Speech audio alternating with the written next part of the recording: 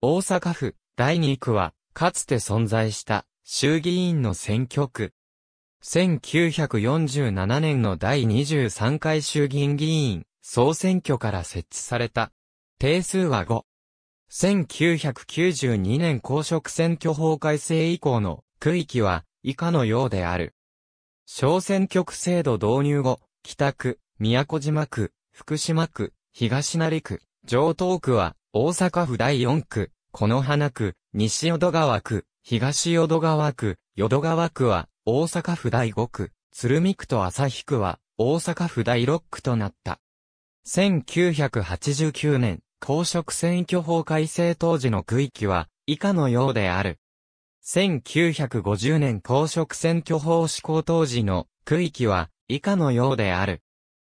第40回衆議院議員総選挙7月18日執行、当日有権者数90万6248人、投票率59.66%第39回衆議院議員総選挙2月18日執行、当日有権者数、90万9590人、投票率、61.22%第38回衆議院議員、総選挙7月6日、執行。当日有権者数、88万555人、投票率、63.80%第37回衆議院議員、総選挙12月18日執行当日、有権者数、86万20人投票率55.95%第36回衆議院議員総選挙6月22日執行。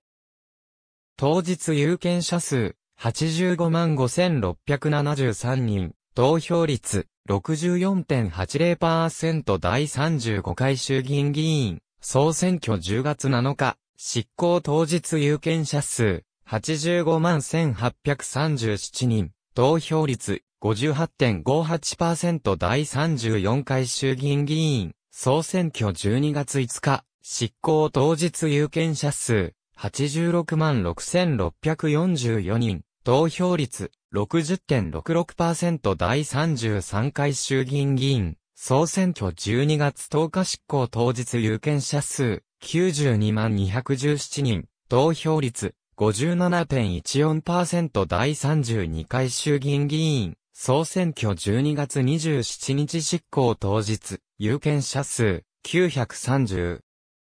125人投票率、55.77%、第31回衆議院議員総選挙1月29日執行、当日有権者数、90万9205人、投票率、64.91%第30回衆議院議員、総選挙11月21日執行当日、有権者数、85万9017人投票率、58.26%、第29回衆議院議員総選挙11月20日執行、当日有権者数、77万216人、投票率、61.83%第28回衆議院議員、総選挙5月22日執行。当日有権者数、人投票率。